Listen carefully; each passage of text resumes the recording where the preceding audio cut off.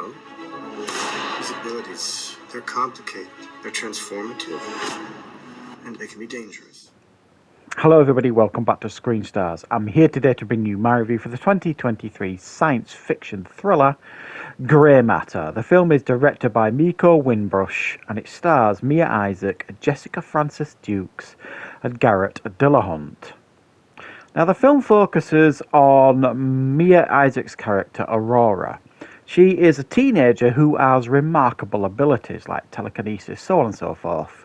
Um, and she has um, a mother, um, Isla, who also has these abilities, and she's been protecting her daughter probably too much. She's been kind of um, overprotecting her, so, so the daughter essentially feels like she's in prison to a large degree. She doesn't necessarily understand why.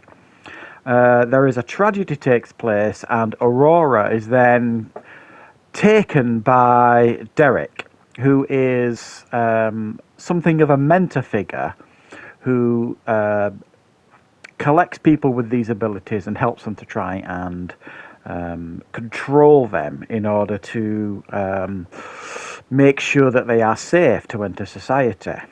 However, while in his presence, she discovers a little bit of a conspiracy um, and some deep, dark secrets about her mother.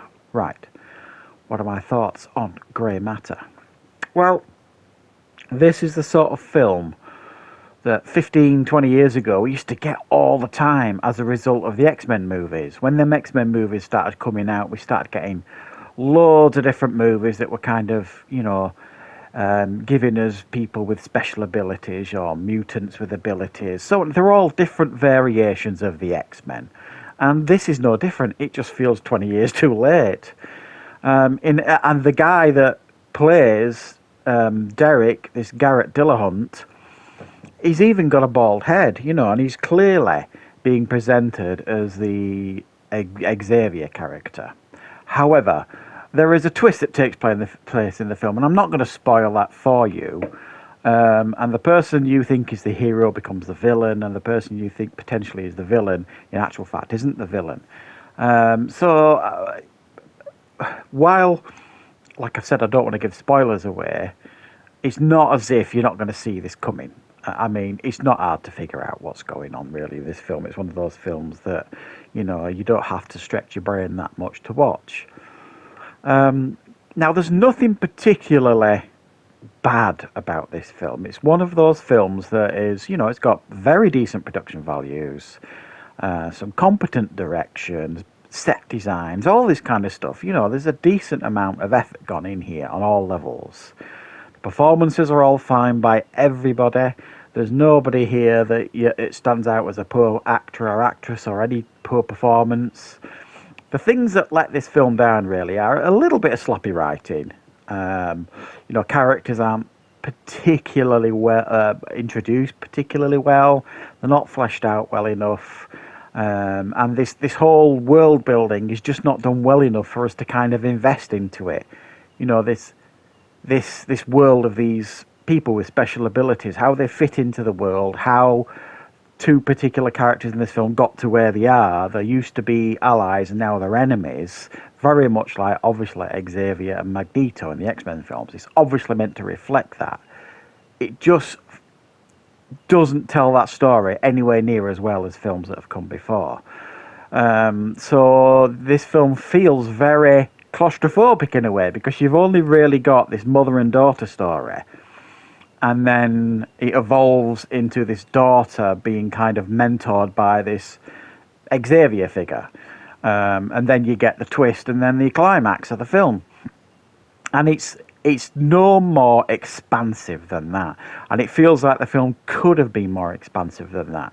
We get very few examples of um, the uh, powers in this film. You don't really get any what you would describe as spectacular um, set pieces or anything like that. You know, you're given examples or hints at um, what these powers can be and what they're capable of, but again, you, it's never really fully realised. You get you, you almost get the feeling that this film, for whatever reason, has got like the um, the, the leash on it's never fully let off the leash, so you're never fully, you know, given um, a full taste of these powers that these people have in this film.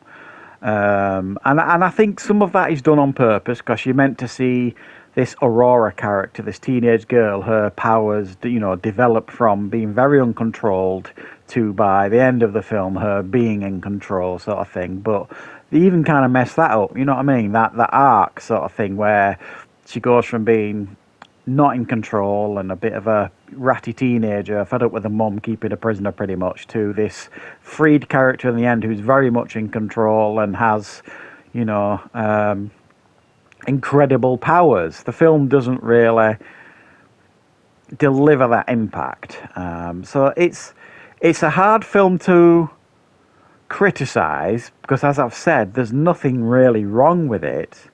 But if you want to watch a film that you know explores humans with you know supersonic abilities or whatever you want to call it, uh, superhuman abilities or mutant abilities or whatever.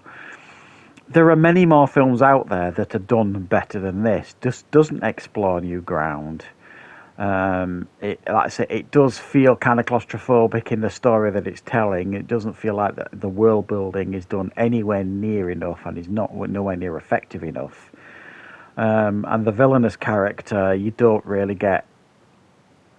For, for me, the villain of the piece is it's too tame as well. You can understand why they kind of keep the villain down for parts of the film because they're trying to keep the twist under wraps. But trust me, guys, the twist isn't under wraps. We've I figured it out very very quickly, and I'm sure most people will as well. So I mean, it's worth checking out if you like these sort of movies. It's not, as I've said, what you would describe as a terrible film or anything. It's just very very mediocre.